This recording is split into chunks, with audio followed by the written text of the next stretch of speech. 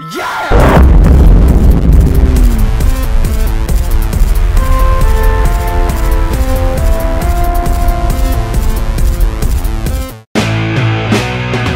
I've never made money off record sales anyway.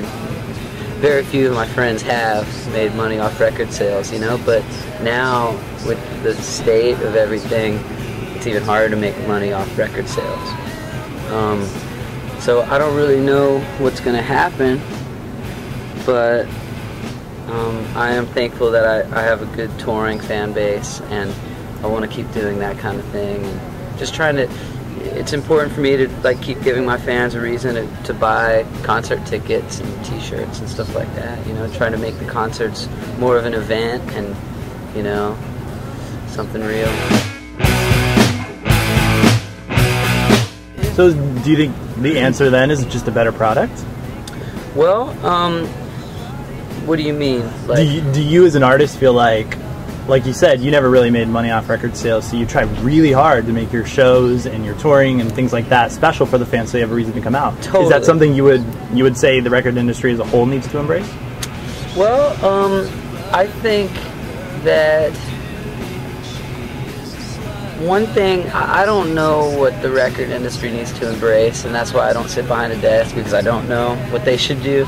But I do believe if you're gonna make an album, like recording music is still my other favorite thing to do. I mean, it's equal to putting on concerts. Um, I don't like one more than the other. Um, so it is important to me to make albums, and you know, I believe like if the very few people that are to buy a CD, I think you should, for them, you should give them a nice package and, and something really nice to buy. And, um, you know, good artwork and packaging. And the, the material should obviously be high quality and the recordings should be good. Um, a lot of record companies are still trying to cut corners. They see it as the opposite philosophy.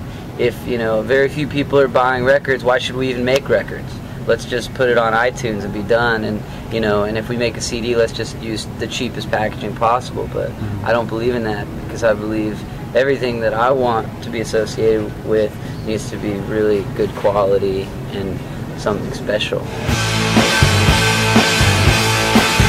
How do you survive in the changing industry? Because when you started, when you put out your first record, when you started with your first solo venture, the record industry was very different. And do you feel like you've had to adapt, or is it just the, that what you've been doing has stayed the same and now is a more commercially viable thing? Um, I've had to adapt. Um, you know, one thing that's a little sad to me is, you know, growing up as a kid, my dream was to have a gold record. You know, in those days now, like in the 90s, it was actually kind of attainable. And when Sha Sha came out in 2002, it still was a total possibility that I might be able to have a gold record one day. But now that record sales have decreased 20 to 30 percent every year since 2002, it's 200,000 copies is now like the new gold record.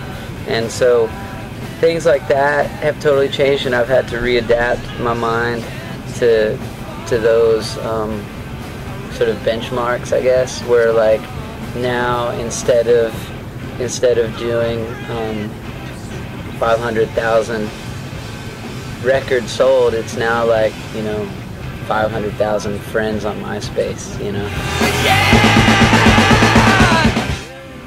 What do you think about MySpace in general and just how that's changed the music industry and how it's I think it's been really cool. Uh, I've always been very techy and into gadgets and and um, very much into technology um, and the web, obviously. I think that it's cool because it's really leveled the playing field a lot for unknown bands, um, people that don't have record deals or any way to get to a record company. Um, I think it it it allows these young bands to build a fan base on their own, and it allows you to be really independent. But at the same time, you have to sift through a lot of shitty music too to find the good stuff, you know, because anyone can have can be a band.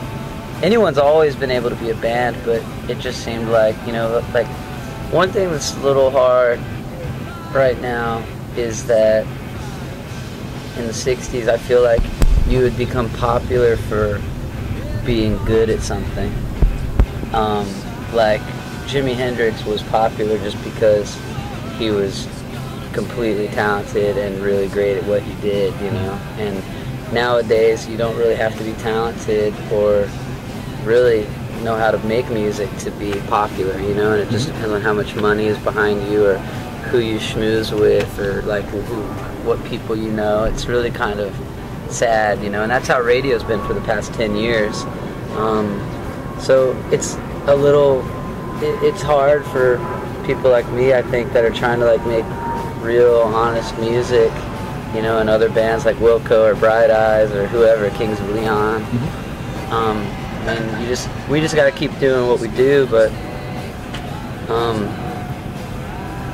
I don't know. I guess it's just that's where where we're at, and you know, I've just basically in the past few years, I've started to just completely forget about radio or MTV or the possibilities of being on those because I just feel like, you know, it's such a corporate thing and it's almost like people pay to be on those outlets, you know.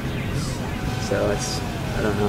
Grassroots marketing, I guess, is just sort of where where I live. Yeah!